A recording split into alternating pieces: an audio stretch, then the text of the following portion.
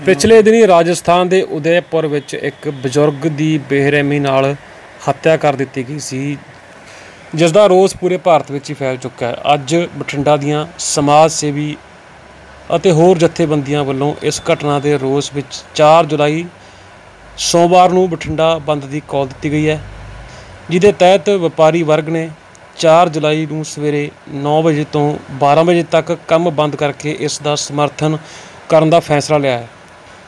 BJP ਆਗੂ ਸੁਖਪਾਲ ਸਰਾਂ ਅਤੇ ਵਪਾਰੀ ਵੀ ਇੱਥੇ ਮੌਜੂਦ ਨੇ। ਕਰਦੇ ਆ ਉਹਨਾਂ ਨਾਲ ਗੱਲਬਾਤ।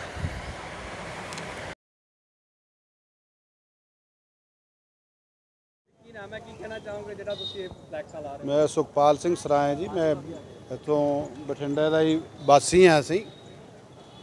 ਇਹ ਸੋਮਵਾਰ 4 ਜੁਲਾਈ ਨੂੰ ਸਾਡਾ ਸਮੂਹ ਹਿੰਦੂ ਸਮਾਜ ਵੱਲੋਂ ਬਠਿੰਡਾ ਵਾਸੀਆਂ ਵੱਲੋਂ ਬਠਿੰਡਾ ਵਪਾਰੀਆਂ ਵੱਲੋਂ ਧਾਰਮਿਕ, ਸਮਾਜਿਕ ਤੇ ਰਾਜਨੀਤਿਕ ਪਾਰਟੀਆਂ ਦੇ ਆਹਵਾਨ ਤੇ ਬਠਿੰਡਾ ਬੰਦ ਦੀ ਕਾਲ ਹੈ, ਕਿਉਂਕਿ ਜੋ ਉਦੈਪੁਰ ਵਿਖੇ ਕਨਈਆ ਕੁਮਾਰ ਜੀ ਦਾ ਜੋ ਕਤਲ ਹੋਇਆ ਹੈ, ਉਹ ਮਾਨਵਤਾ ਨੂੰ ਸ਼ਰਮਸਾਰ ਕਰਨ ਵਾਲਾ ਹੈ।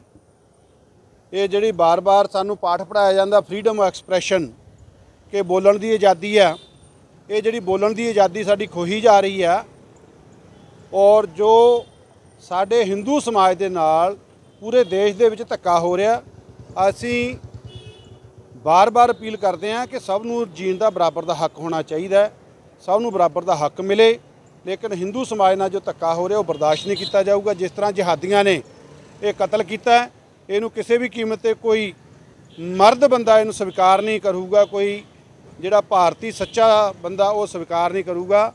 ਅਸੀਂ ਸਰਕਾਰ ਨੂੰ ਕਹਿੰਦੇ ਆ ਚੈਲੰਜ ਕਰਦੇ ਆ ਉਹ ਚੇਤਾਵਨੀ ਦਿੰਨੇ ਆ ਕਿ ਜਿਹੇ ਗੁੰਡਿਆਂ ਤੇ ਤੁਰੰਤ ਪਾਬੰਦੀ ਲਾ ਕੇ ਕਿਉਂਕਿ ਉਹਨਾਂ ਨੇ ਜੋ ਕਤਲ ਕੀਤਾ, ਉਹਦੀ ਵੀਡੀਓ ਬਣਾ ਕੇ ਸਵੀਕਾਰ ਕਰ ਲਿਆ।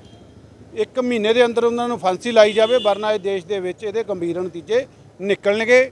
ਔਰ ਇਸ ਟਾਈਮ ਜੋ ਦੇਸ਼ ਦਾ ਵਾਤਾਵਰਣ ਡਰ ਦਾ ਮਾਹੌਲ ਬਣਾਉਣ ਦੀ ਸਾਜ਼ਿਸ਼ ਰਚੀ ਜਾ ਰਹੀ ਹੈ, ਨਾ ਅਸੀਂ ਡਰਨ ਵਾਲੇ ਆ ਨਾ ਅਸੀਂ ਕਿਤੇ ਭੱਜਣ ਵਾਲੇ ਆ ਡਟ ਕੇ ਮੁਕਾਬਲਾ ਕਰਨ ਵਾਲੇ ਆ ਸੋਮਨਾਥ ਬੰਸਲ, ਜਿਹੜਾ ਘਟਨਾ ਘਟੀ ਹੈ, ਇਹਨੂੰ ਦੇਖਦੇ ਹੋਏ ਵਪਾਰੀ ਵਰਗ ਪੂਰਨ ਸਹਿਯੋਗ ਦੇ ਕੇ 9 ਤੋਂ 12 ਵਜੇ ਤੱਕ ਚਾਰਜ ਨੂੰ ਬੰਦ ਆ। ਐਲਾਨ ਕੀਤਾ ਗਿਆ। ਤੁਸੀਂ ਸਮਰਥਨ ਕਰੋਗੇ ਬਿਲਕੁਲ ਫੁੱਲ ਸਮਰਥਨ ਹੋਏਗਾ ਸਹਿਯੋਗੀ ਸੁਨੀਲ ਮਹਿਰਾ ਦੇ ਨਾਲ ਦੇਵਕਰਨ ਪੰਜ ਪਾਣੀ ਟੀਵੀ ਬਠਿੰਡਾ।